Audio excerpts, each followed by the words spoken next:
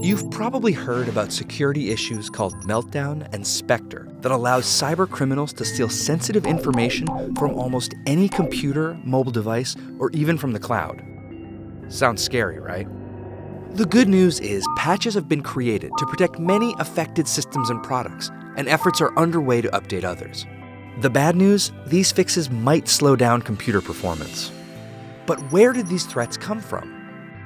To answer that, you need to understand a behind the scenes process called speculative execution. It lets devices do some work ahead of time to speed up routine tasks, but it also creates a security vulnerability nobody expected. Think of your computer as a restaurant. A customer comes in every day at 8 a.m. and orders the exact same breakfast. Eventually, the cook sees the pattern and starts making the order ahead of time. It's more efficient, and breakfast is ready when the customer comes in the door. But what if that regular customer decides to order something different one day? Now the cook has to throw away the prepared breakfast and start over.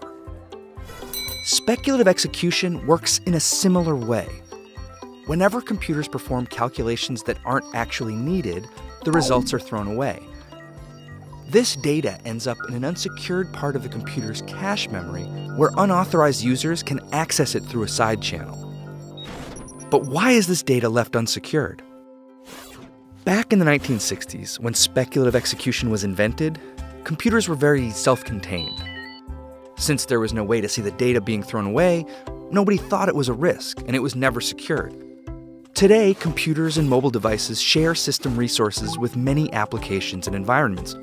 Normally, sharing is good, but when unprotected data from speculative execution ends up in shared memory, it can become a serious problem.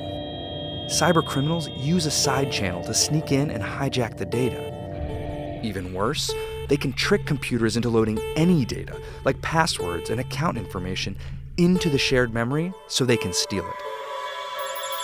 So, what's being done about Meltdown and Spectre?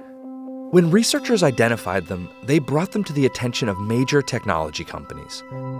Hundreds of engineers came together to create patches that block Meltdown and Spectre attacks. It's critical to install these patches right away and stay up to date with the latest releases of operating systems. In the future, system designs will change to eliminate these kinds of vulnerabilities for good. The reality is, computers will always have some security issues. That's why it's so important to have as many engineers and developers looking for them as possible, and for companies to come together and solve problems that affect us all.